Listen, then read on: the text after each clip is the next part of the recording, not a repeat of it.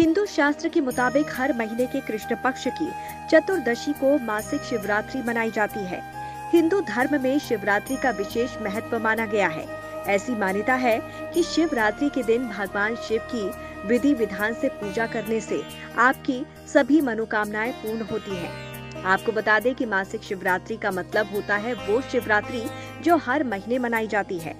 हिंदू पंचांग के मुताबिक कहा जाता है कि चिरकाल में फाल्गुन माह के कृष्ण पक्ष की चतुर्दशी तिथि पर महादेव और माता पार्वती का विवाह हुआ था और दोनों परिणय सूत्र में बंधे थे, जिसके बाद हर साल फाल्गुन मास में महाशिवरात्रि मनाई जाती है और साथ ही हर महीने की कृष्ण पक्ष की चतुर्दशी को महादेव के भक्त मासिक शिवरात्रि मनाते हैं।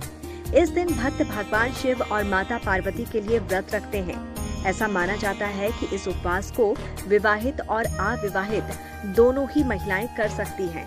मान्यता है कि अविवाहित कन्याओं को शिवरात्रि का व्रत करने से शीघ्र विवाह के योग बनते हैं और जिन लोगों का विवाह नहीं हो रहा है, उन्हें शिवरात्रि का व्रत रखने की सलाह दी जाती है इसके साथ ही अच्छा वर प्राप्ति के लिए भी कन्याएँ शिवरात्रि का व्रत रखती हैं। तो चलिए जानते हैं, कब है मार्ग शीर्ष महीने की मासिक शिवरात्रि और शुभ मुहूर्त?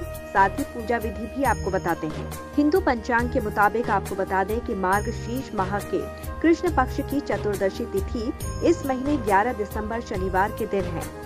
11 दिसंबर को सुबह सात बजकर दस मिनट पर कृष्ण पक्ष की चतुर्दशी तिथि शुरू होगी और इस तिथि का समापन अगले दिन 12 दिसंबर रविवार को सुबह छह बजकर चौबीस मिनट पर होगा। ऐसे में उदया तिथि को ध्यान में रखते हुए 11 दिसंबर के दिन ही मासिक शिवरात्रि का व्रत रखा जाएगा। वहीं अगर पूजा विधि की बात करें तो इस दिन ब्रह्म मुहूर्त में उठकर अपने दैनिक कार्य करके गंगा जल युक्त पानी से स्नान करें। इस समय आचमन कर खुद को शुद्ध करें और व्रत का संकल्प लें। सूर्योदय के बाद सूर्य देव को जल का अर्घ्य दें। इसके बाद अपने पूजा घर में चौकी पर लाल या सफ़ेद वस्त्र बिछाएँ। महादेव और माता पार्वती की प्रतिमा उसके ऊपर स्थापित कर दें। या फिर आप चित्र भी रख सकते हैं। फिर पंचोपचार के साथ विधि विधान से भगवान शिव और माता पार्वती की पूजा करें।